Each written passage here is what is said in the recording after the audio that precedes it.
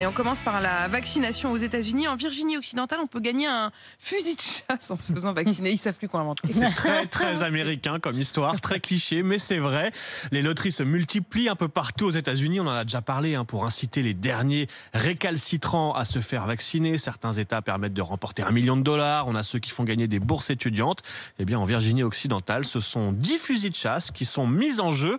Alors forcément, l'initiative a suscité pas mal de cynisme hein, sur les réseaux. Se demandent si la balance bénéfice-risque Oui, est toujours ce positive, si cette méthode ne va pas mettre plus de vie en jeu qu'elle ne va en sauver. Bref, on redoute les effets secondaires de cette méthode américaine.